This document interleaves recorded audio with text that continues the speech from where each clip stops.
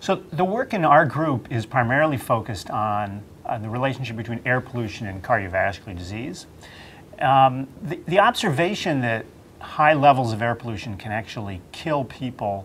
was most dramatically illustrated in the, in the middle of the 20th century with the London fog episode, where an episode of very high levels of air pollution led to an estimated 12,000 excess deaths over the course of a few weeks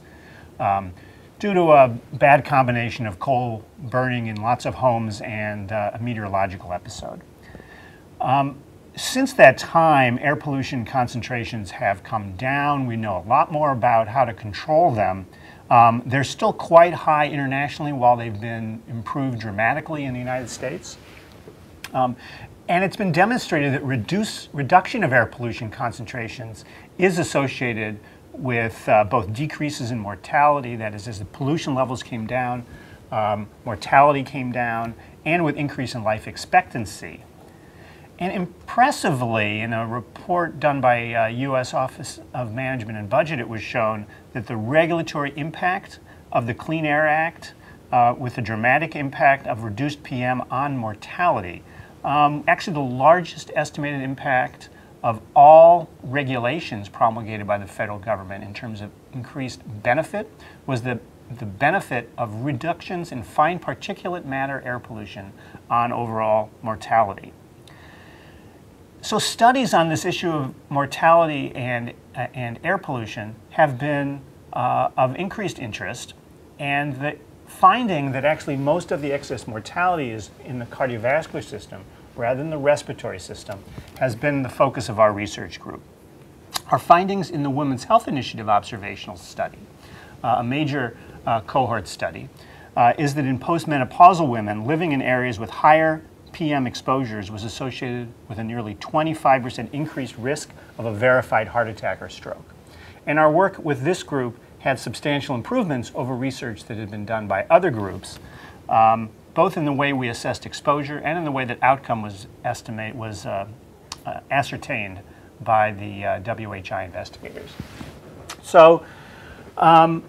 based on this, um, it's been recognized that there are several lines of research that are needed to figure out the most efficient way to target this problem to, to, for public health efforts to prevent excess morbidity and mortality in air pollution and cardiovascular disease. And we have several initiatives underway that are focused on this, this issue, the largest of which is our work in the multi-ethnic study of atherosclerosis and air pollution, or MESA air.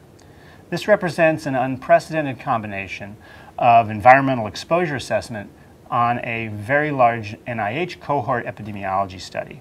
The EPA recognized the importance of this project and um, actually provided us with their largest single research grant ever, a total of $33 million over 10 years, to study several thousand people in six states and provide an individual level of exposure estimate of air pollutants um, and to determine if the exposure to air pollutants was associated with an acceleration of atherosclerosis, or hardening of the arteries, and incidence of cardiovascular disease events uh, in this population of uh, uh, between uh, six and 7,000 people. Uh, we've now completed an ambitious, probably never to be repeated effort to characterize exposures, and which has included uh, monitoring campaigns in the communities where these participants live across the United States and are marrying this information to a remarkable suite of health measurements, which includes CT scans of the heart, ultrasounds of the carotid arteries, and so forth, in uh, more than 3,500 people. And using some novel outcomes um, that have been assessed through NIH funding of this project, we've been able to see things like the fact that living near a major roadway uh, is associated with increase in cardiac left ventricular mass, the actual weight of the heart, uh, a precursor of uh, heart failure. And we've been able to see that those with higher PM2.5 concentrations actually have uh, reduced caliber of the tiny blood vessels uh, in the retina, um, um, impacting uh, the small vessels around the body. At the same time, we've had an NIH um, specialized center for research called the Discover Center, which is focused on traffic-related air pollution and cardiovascular disease. We have five projects uh, with investigators from a, a broad range of, of, disciplines throughout the uh, university, medical school, school of public health, school of engineering, where we're studying everything from basic molecular biological impacts in animal models to clinical studies to population-based studies of gene-environment interactions.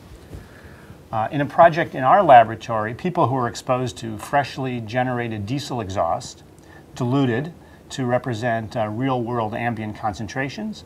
we've been able to demonstrate experimentally narrower blood vessels and increase in blood pressure um, with exposure compared to uh, filtered air exposures. A major focus of our work is being able to translate basic science research and epidemiological research into public health practice, into actual steps that can improve regulations, improve public health practice, and improve advice to patients. A lot of our work has been focused on understanding uh, what we call biological plausibility, which is how could these exposures actually cause meaningful health effects in people. We've also been working on trying to understand what part of air pollution it is that might be responsible for the effects. Um, and by doing that, we believe that we can, we can have more targeted pollution control efforts and that these will be particularly effective in the developing world as they try to focus limited resources on reducing air pollution and having the most improved uh, public health in those communities. Uh, we've been working with a large number of collaborators across the university and across the country on this work. We're finding it very exciting, and we're uh, um, um, I'm happy to talk to you more about it today and uh, answer any questions you might have.